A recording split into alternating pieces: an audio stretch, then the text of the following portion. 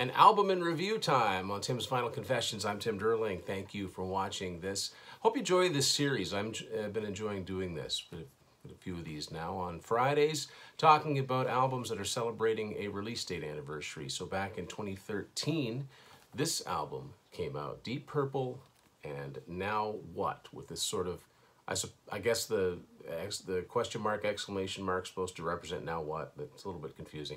Um, Rufus thinks so too. He doesn't really understand. But this album was significant for Deep Purple. I mean, they'd been around forever, and um, you know, what, what, what new things could happen on a Deep Purple album? Well, there are a few. Of course, sadly, um, there, this was the first Deep Purple album that Jon Lord was not on because uh, Jon Lord sadly passed away a year previous. He'd already retired from the band and had been replaced by Don Airey.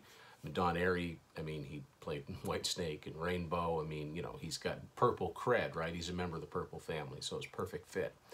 Uh, but the other significant thing is that this is the first time that Deep Purple worked with legendary producer Bob Ezrin.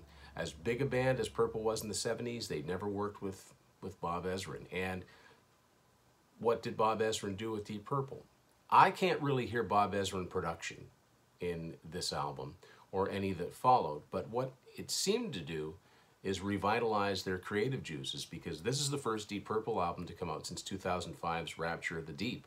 So they've still got Steve Morse on guitar, and they just they were touring and touring and touring and touring. And they weren't doing new music, but since this album came out, uh, they since followed it up with Infinite in 2017, Whoosh in uh, 2020, and the covers album Turning to Crime in 2021. And as far as I know, they're still going, and it'll probably be another Bob Ezrin production.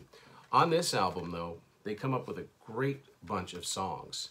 Um, you know, some of my favorites are, you know, Out of Hand, Bodyline, Uncommon Man, uh, a simple song, Weirdistan, typical uh, Deep Purple lyrics where you don't really know what they're about, but, you know, the, the music is grooving. It sounds so unmistakably Deep Purple, Mark, whatever it is, you know, in, in their career.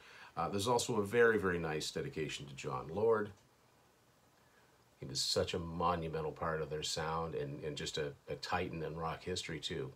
Of course, Jon Lord was also in Whitesnake as well, but uh, souls having touched are forever entwined. So yeah, death of a legend there for sure. But uh, Don Airey, a worthy replacement, and Deep Purple continued to make great music. So um, yeah, this is a great place to start if you're not familiar with modern day Deep Purple. Now what? Released on this date in 2013. Thanks for watching Tim's Vinyl Confessions. Don't forget, hit the subscribe button, and we'll see you later.